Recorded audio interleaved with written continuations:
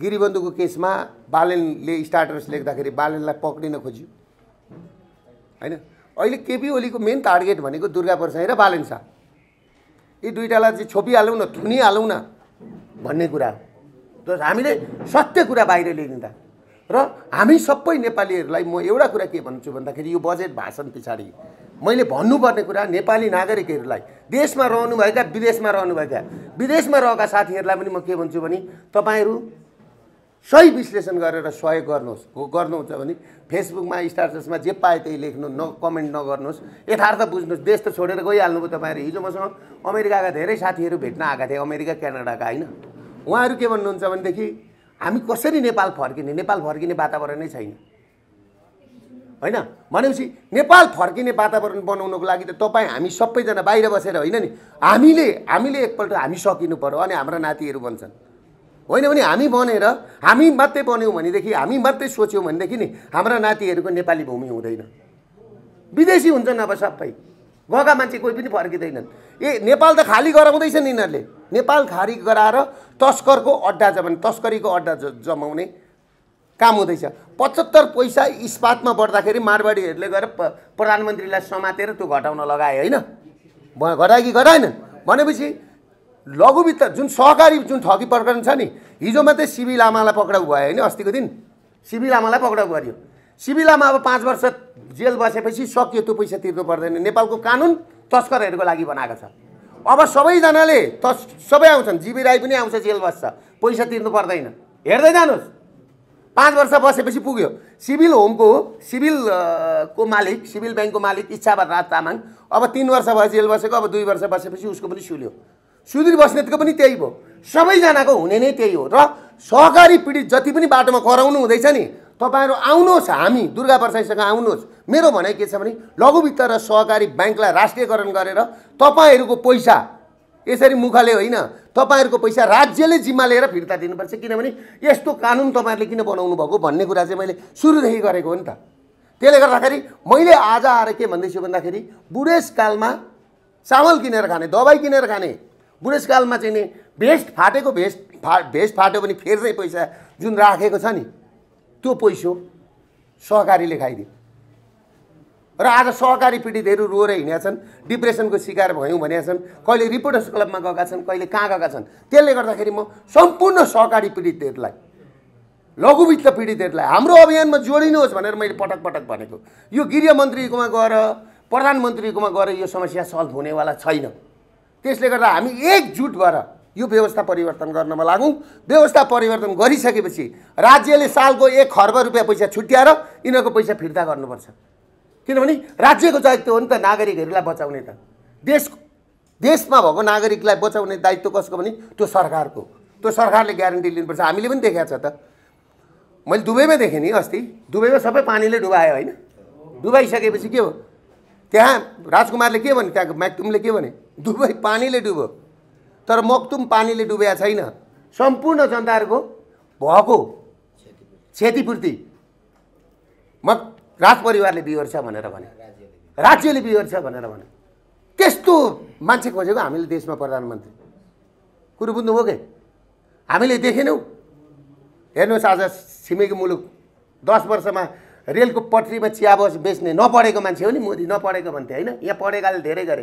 हेर्नुहोस् आज देशलाई कहाँ पुर्याए अहिले भर्खर इलेक्सनको रिपोर्ट आउँदैछ अहिले म यहाँ आउनुभन्दा अगाडि दुई सय नब्बे पुर्याइसक्नु भएको छ उहाँले। हामीलाई पुटिन जस्तो मोदी जस्तो मक्तुम जस्तो लिक्वान जस्तो मान्छे चाहिएको छ यहाँ। कुरा बुझ्यो होइन? त्यसले गर्दाखेरि यो मान्छेहरू जुन आज रोएर हिँडेका छन् नि बाटोमा त्यो रोएर हिँड्नुको सट्टामा हामी एक भएर लडौँ। र यो बजेट सँगसँगै म सहकारी पीडितहरूलाई म यो अनुरोध गर्न चाहन्छु। त्यही भन्नको लागि आज मैले बजेटको विषयमा खास गरेर र यो बजेट यो व्यवस्था जति रहन्छ यी नेताहरू जति रहन्छन् तस् यी तस्कर हुन् यिनीहरू पार्टनर हुन् जस्तो गिरिबन्धुको केसमा मैले हिजो पनि भने अब तपाईँहरूलाई मैले सबै बुझाउनुपर्छ। तलबाट झापाबाट पचासजना व्यापारी जति अहिले बित्तामोट झापा गए पचासजना व्यापारी डिप्रेसनको शिकार भएका छन्। सबै झुन्निएर मर्ने अवस्थामा पुगेका छन्। दुई अरब जति त्यहाँ झापाबाट गिरिबन्धुको पैसाको यहाँको बिचको बिचौलिया दिपक मल्होत्रा केपी ओलीसँग मिलाउने सिंहदरबार मिलाउने त्यतिखेर उनीहरूले सबै दिपक मल्होत्रालाई पैसा दिए। एकजना मनोज वर्षाई हुनुहुन्छ तपाईँहरूलाई म भेट गराइदिउँला उहाँसँग लिनुहोस्। उहाँले बाह्र करोड रुपियाँ पैसा दिएको छ दिपक मल्होत्रालाई। आज उहाँ रोएर हिँड्नुभएको छ काठमाडौँ आउनुभएको छ। दिपक मल्होत्राले छ महिना अगाडि पैसा फिर्ता गर्छु यो गिरीबन्धु हुँदै भएन भने भनेर भनेर कागज गरेको आजसम्म। कति बिस पच्चिस लाख तिस लाख रुपियाँ पैसा दिए अरू पैसा दिएका छैन। र दुई अर्ब रुपियाँ पैसा दिपक मल्होत्राले ल्याएर के गरेको थाहा छ? केपी ओलीलाई सोह्र करोड रुपियाँ पैसा चितवनमा तिरेको त्यो के भन्छ? अधिवेशनको पैसा। त्यस पछाडि अरू पैसा केपी ओलीलाई दिए एक अरब पुर्याउनु थियो। र आर्जु देउपालाई एकचालिस करोड रुपियाँ दिए। र जो गिरीबन्धुको मालिक छ प्रमोटर्सहरू छन् उनीहरूले जम्मा चालिस करोड चालिस करोड मात्रै पाएका छन्। बुझ्नुभयो? यो काम गर्नलाई त्यति पैसा खर्च भयो आखिरमा आज आएर बिर्तामोडका व्यापारी सबै झुन्डिएर मर्ने स्थितिमा पुगेका छन्। र अहिले यिनीहरूले के भनिरहेछन् भनेदेखि यो त पूर्णपाठ आएको मात्रै हो दुई चार दिन पछाडि फेरि हामी मिलाउँछौँ। मिलाइहाल्छौँ नि क्याबिनेटमा लगेर भनेर मान्छे थुमथुमिएको छ।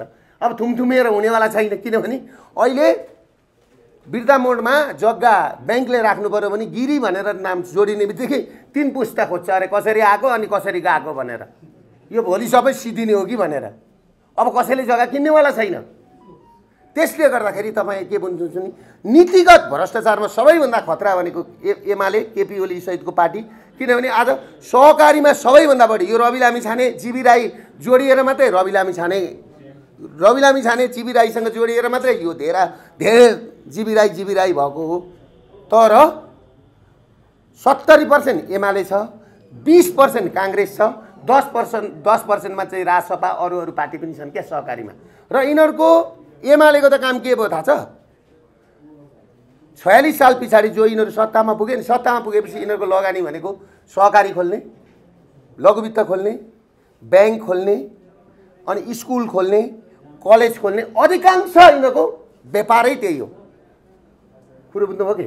त्यसले गर्दाखेरि यिनीहरू ज्यादा आक्रामक भएको हामीसँग दुर्गा परसाईसँग खास गरेर कारण त्यो त्यसले गर्दाखेरि सम्पूर्ण सहकारी पीडितहरूलाई म के आह्वान गर्छु भने आउनुहोस् हामी हातेमालो गरेर तपाईँहरूका पैसा फिर्ता गर्ने गरिबहरूलाई नागरिकहरूलाई बचाउने अभियानमा लागौँ। शासक भनेको राजा महेन्द्र जस्तो हुनुपर्छ।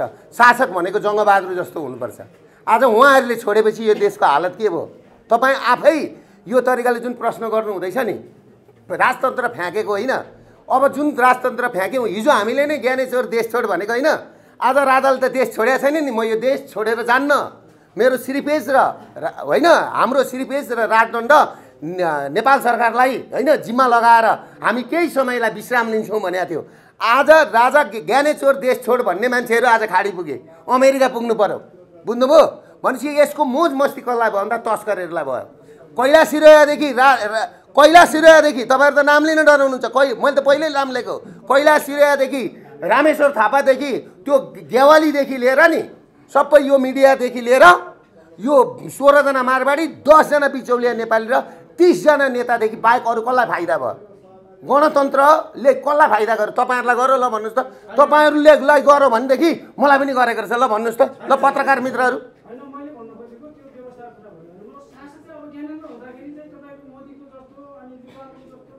होइन होइन होइन। तपाईँलाई एउटा कुरो के थियो? थाहा छ? जङ्गबहादुरलाई चाहिँ मूर्ख भन्थे होइन पढेका थिएन भन्थे होइन तर जङ्गबहादुरले देश जोगाएको थियो। तपाईँहरूको अगाडि पनि नि त्यस्तै मूर्ख मान्छे उभिएको छ। बुझ्नुहोस् न राजा आएपछि। बुझ्नुभयो कि देश चल्छ चलाइन्छ। बुझ्नुभयो कि मैले भने नि दुर्गा पर्साईको हातमा सत्ता ढिलो चाँडो होस् आउँछ। आइसकेपछि आकै दिन यो लघुवित्त सहकारी पीडितले बाटोमा रुनु पर्दैन। त्यही दिन राति अन्त्य हुन्छ। होइन आकाशको फल आँखा तरी यस्तो नि त भाइ। सबैजनाले साथ दिनु पऱ्यो नि त। होइन त्यो पनि हुन्छ। कहिले कहिले हुन्छ। कहिले कहिले हुन्छ त्यो तपाईँले नभन्नुहुन्छ। नेगेटिभमै पोजिटिभ खोज्नुपर्छ। म तपाईँलाई एउटा कुरो म भनौँ। म आफू अब तपाईँलाई उदाहरण दिन्छु।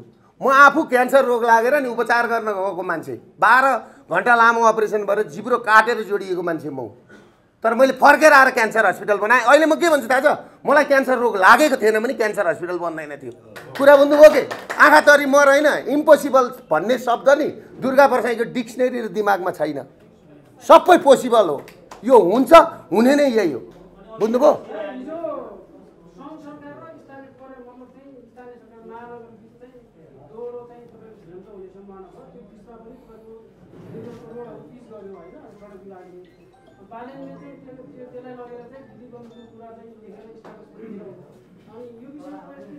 होइन मैले हिजै स्टाटस लेखेको थिएँ त एउटा।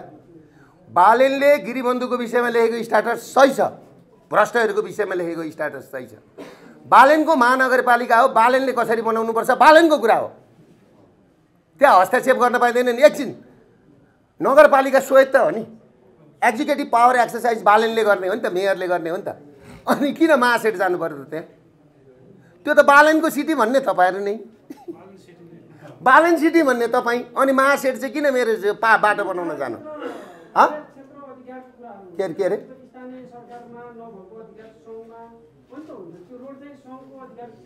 होइन होइन। त्यो त्यो त्यो गलत कुरा हो किनभने नगरपालिकाभित्र कस्तो खालको बाटो कस्तो खालको त्यो बनाउनुपर्छ भन्ने नगरपालिकाको प्लान हो। र नगरपालिकामा अहिले बनाउने मान्छे जस्तो इन्जिनियर आउनुभएको छ नि त कहाँ फुल रोप्ने? उहाँ त बनाउन आउनुभएको नि त डिजाइन गर्न आउनुभएको नि त। काठमाडौँ सिटीलाई डिजाइन गर्नु हुँदैछ। अब यी भ्रष्टहरू भ्रष्ट गर्न आएका। अब त्यहाँ हिजो पोखे नि त्यो। त्यो पोखेकोमा अरबौँ खान्छन्। त्यो त्यसरी मिलाउने र खानालाई गरेको। तपाईँले के त्यो यो रघुवीर मासेटलाई राम्रो मान्छे भन्नुभएको? तस्करको ज्वाइँ हो। देश सक्ने तस्कर कुख्यात तस्करको ज्वाइँ हो। अब मैले यहाँभन्दा के भन्नु? हजुरबुवालाई त अब के भन्नु? जिसिन थाल्यो हजुरबुवा हेर्नुहोस् हजुर हजुरबुवाको अलिक दिनमा के भन्नुहुन्छ? हजुरबुवाले थाहा छ? कहिले जुङ्गा काला हुँदैछन् भन्नुहुन्छ कहिले के कालो हुँदै भन्नुहुन्छ कहिले हिजो बालनलाई सोध भन्दै हुनुहुन्थ्यो। तर हजुरबुवाले एउटा देशको प्राइम मिनिस्टर भइसकेको मान्छे पूर्व प्रधानमन्त्री भइसकेको मान्छेले बालेन भनेको नाति जस्तो मान्छेसँग होइन? न्यु खोज्नु बेकार हो। र ती एकजना पत्रकार बहिनी रहेछन् के? साह्रै खुङ्गार रहेछन् तिनलाई म सलोट गर्छु क्या? साह्रै राम्ररी सोध्छिन् क्या ती बहिनीले? तिनलाई चाहिँ सलोट गर्छु क्या तिनको त्यो त्यस्तो खालको मान्छे चाहिन्छ कि हँ? अरूले सोध्दै सोद्धा रहन्छन् तिनले दिइहालिदिँदैछन् स्वास्थ त्यो अडेली काँडेले जस्तो नि दिँदो रहेछन् क्या। हजुरबाउलाई पनि नि। अँ हजुरबाउ हेऱ्यो हिजो के भएछ मैले स्टाटस निकालेपछि केपी ओली प्रचण्ड रवि लामी छाने शेरबहादुर देउबा चारजना मिटिङ बस्यो। खबरदार दुर्गा वर्षै काठमाडौँमा छ बालनलाई समाइएछ भने घर घेर्न गइन्छ। घर घेर्न पनि हामीले तयारी गरेका थियौँ। जाइन्थ्यो। तर त्यसमा शेरबहादुर देउबा र रवि लामी छाने। बोलेनछन् प्रधान प्रधानमन्त्रीले के भन्नुभएछ भन्दाखेरि त दुर्गा प्रसादलाई र बालनलाई पक्रिनलाई काम गर्न दिउँ न उनीहरू काम गर्छन्। उनीहरूलाई बोल्न दिउँ। होइन? सर्वहारा वर्ग र भुइँ मान्छेको केपिची हामीले आवाज उठाउनु पर्ने उनीहरूले उठाइरहेछन्। अब हाम्रो पालो सक्यो हामी बुढा भयौँ। त दुर्गाजी बालनजीहरूले बोलिरहेकोमा गरिरहेकोमा तपाईँको चाहिँ के टाउको दुखाइ भन्दैछन्? क्या भन्नुभएछ प्रचण्डले? शेरबहादुर बोलेनछन् कुरो भन्नु हो कि? त्यति इन्फर्मेसन चाहिँ हामीलाई पनि आयो। अनि हजुरबाउ जुरुक्क उठेर हिँड हिँड्नु भएको छ सबैभन्दा ठुलो टेन्सन के छ थाहा छ? अहिलेको सबैभन्दा ठुलो औडा भनेको बालेन्द्र दुर्गा प्रसाई। पहिला दुर्गा प्रसाई थियो अहिले बालेन थपिए क्या? हजुरबाउलाई औडा। अहिले हाम्रो हजुरबुवा राति सुत्दैनन् अरे। छटपट्टि खटपट्टि पाँचजना राखेको छ अरे दुर्गा प्रसाईले के भन्छ भनेर। त्यो उ गर्नलाई पाँचजना मान्छे। हजुरबाउले रिपोर्टिङ हजुरबाउलाई त्यस्तो छ अरे। त्यसले गर्दा तपाईँहरू के बुझ्नुहोस् भने नि यो देशमा अब जङ्गबहादुरको उदय हुनुपर्छ। यो देशमा। र यो देश अब हामीले बनाउनुपर्छ। तपाईँ हामीले साथ दिनु। होइन बालेन जङ्गबहादुर हुन्। होइन अहिलेलाई जङ्गबहादुर भएका छन् केही समयलाई। तर यसरी निरन्तर तपाईँहरूले साथ दिनु पऱ्यो नि त। अस्ति रविलाई तपाईँहरूले बा जङ्गबहादुर बनाउनु भयो। तपाईँहरूले हो नि त रविलाई जङ्गबहादुर बनाउनु। रविको भोट कहाँ गयो भन्दा प्रचण्डलाई काम लाग्यो होइन। भगवान् पनि बनाउने तपाईँहरू त्यसले गर्दाखेरि ल त्यो भन्दै मैले बिदा लिएँ है।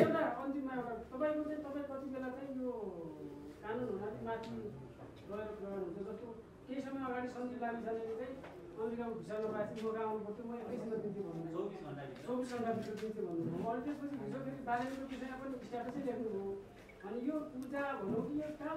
होइन एउटा कुरो कानुनभन्दा माथि होइन दुर्गा प्रसाद कानुनभन्दा माथि होइन नेपालको संविधान एकछिन नेपालको संविधानभन्दा मुनि नै छ तर देशमा दुईवटा सरकार छ मैले के भनेको थियो वैशाख उन्तिस गते के भनेको थियो मोरङमा अब आउने एक गते अब आउने एक गते सन्दीप लामिछानेलाई छुट्याइन्छ सन्दीप लामिछाने छुट्नुपर्छ हो छुट्नु भयो होइन छुट्नु भयो फलानु ठाउँमा लास छ दुर्गा प्रसादले ल्याउँछ भनेपछि आएको छ होइन? नेपाल सरकारले ल्याएको छ? सरकारभन्दा माथि उठेर दुर्गा प्रसादले काम गरेको छ थियो होला नि त हाम्रो पनि च्यानल। हाम्रा पनि मान्छे थियो ए भाइ कस्तो खालको कुरा हुन्छ संसारमा दुर्गा प्रसाईको लिङ्क त काहीँ न काहीँ होला नि यार। त्यत्तिकै दुबईका राजकुमारहरू नेपाल आउँछन् यार। नेपाल पनि आएर काठमाडौँमा थाहा नभइकन एकैचोटि भद्रपुरी एयरपोर्ट पुग्छन्। त्यो तागत दुर्गा प्रसाईसँग छ क्या? कुरा बुझ्नु होइन त्यस कारणले गर्दाखेरि कतिवटा कुरा फरक हुन्छ क्या। होइन बालेनलाई त्यो हिजोको कुरामा म सपोर्ट गर्छु। बालेनका पनि एउटा कतिवटा कुरामा मेरो मत भिन्नता छ होइन? तर बालेनलाई जुन केपी ओलीप्रति जुन आवाज उठाएको छ नि त्यसमा चाहिँ मेरो बालनलाई सय पर्सेन्ट होइन नि पाँच हजार पर्सेन्ट सपोर्ट छ। युवा सङ्घले अब भिड्दैछ अरे बालेनका प्रहरीसँग के अब दुर्गा प्रसाद भिड्न जाने तयार हो? दुर्गा प्रसाद युवा जस्ता। यो किन एउटा कुरा कि? युवा सङ्घ भनेको कति छन्? युवा सङ्घ देखेको होइन मङ्सिर सात गते? युवा सङ्घ के को लागि प्रयोग हुँदो रहेछ थाहा पाइयो होइन? शोभा पाठकलाई खेद्नको लागि युवा सङ्घ प्रयोग भएको छ। पत्रकार कुट्नलाई युवा सङ्घ प्रयोग भएको छ तपाईँहरूलाई कुट्नलाई? अनि मारवाडी जोगाउनलाई चाहिँ नि युवा सङ्घ प्रयोग भएको छ तस्करहरू जोगाउन युवा सङ्घ प्रयोग भएको छ साँच्चै देश बनाउने युवा सङ्घ प्रयोग भएको छ ल आउँ त डिबेट गर्नलाई। र बालेनलाई युवा सङ्घले छुनु भनेको नि? अरेङ्गालको गोलामा होइन हौ भाइ चौध हजार भोल्टमा समाए जस्तो हो। अब यहाँभन्दा के कुरा गर्नु? ल भिडन्तै हुँदैन भाइ। के को भिडन्त हुन्छ? अब यो कुरै नगर्न भिडन्तै हुँदैन। एउटा दुर्गा प्रसादसँग भिड्दाखेरि त्यो हालत भएको छ। जानी जानी होइन त्यत्रो घाइते भएर फेरि अर्को मूर्ख हुन्छन्। हस् ल नमस्ते।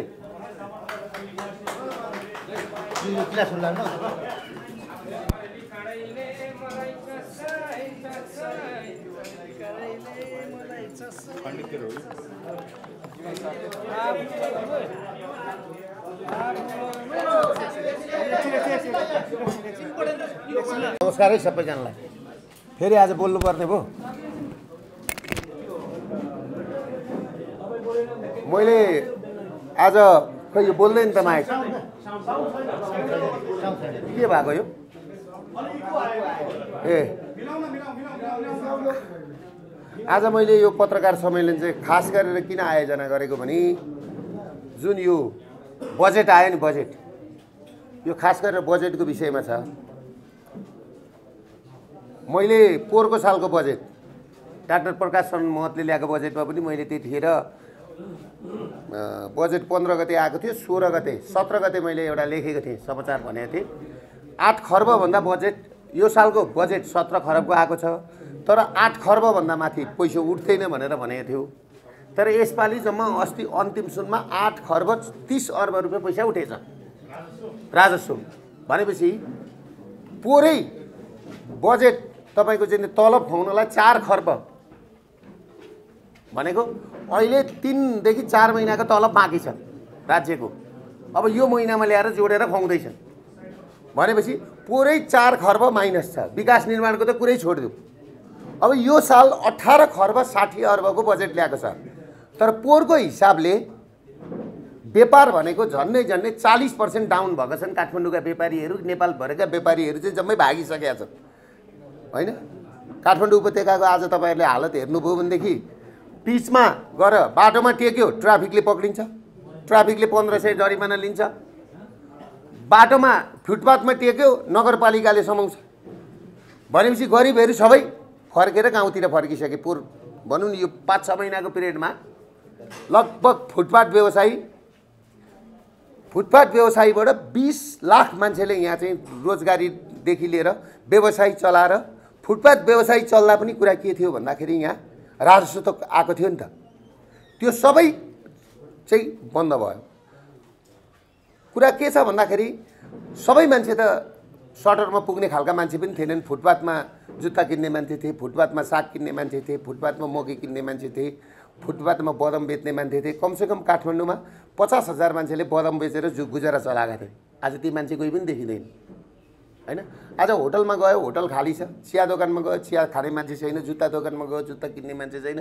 यो फेरि मैले भनेको कुरो होइन तपाईँले महाबौद्धदेखि लिएर काठमाडौँका सबै दोकान बुझ्नुहोस् सबै सटरमा बुझ्नुहोस्। तपाईँहरू खोज पत्रकारिता गर्नुहोस् म साथीहरूलाई भन्छु। र यो साल राजस्व फेरि लेखेर राख्नुहोस् है तपाईँहरूले। पाँच खर्बभन्दा राजस्व उठ्नेवाला छैन।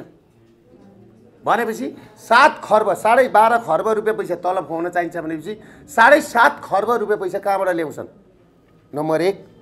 नम्बर दुई यसपालिको बजेट भनेको कस्तो आएको छ भन्दाखेरि एउटा भुइँ मान्छे सर्वहारा वर्गलाई आएको छैन। यो बजेट चाहिँ कसलाई आएको छ भन्दाखेरि पवन गुल्यानहरू चन्द्र ढकालहरू तुलसीलाल अग्रवालहरूका लागि आएको छ यो बजेट।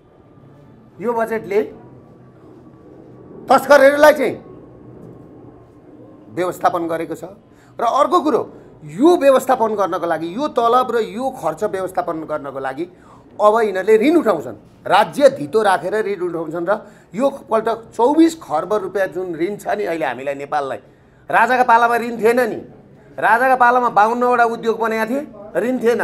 तर यिनीहरूका पालामा आएर एकसट्ठी सालदेखि अहिलेसम्म आउँदाखेरि त्यो उद्योग धन्दा बेचेर पनि खाए। आज चौबिस खर्ब रुपियाँ ऋण बना देखाएको छ अहिले। र यो साल आउने साल लेखेर राख्नुहोस् नि तपाईँहरूले। तिस खर्ब रुपियाँ ऋण पुग्दैछ। कुरो बुझ्नुभयो? त्यो तिस खर्बको ब्याज चाहिँ कसले तिर्छ अब? भनेपछि त हामी सबैजना डुब्दैछौँ। त्यसले गर्दाखेरि तपाईँहरूलाई मैले के बुझाउन खोजेको भन्दाखेरि यो बजेट यो अहिले जुन वर्षमान पुन अर्थमन्त्रीज्यूले ल्याउनु भएको बजेट अहिले यो नेपाली र नेपाल र नेपाली नागरिकहरूको लागि छैन तस्करहरूको लागि छ यो। केही व्यवसायिक घरनाको लागि व्यवसायिक तस्कर घरनाहरूको लागि छ। यी त व्यापारी होइनन् लुटेरा हुन्।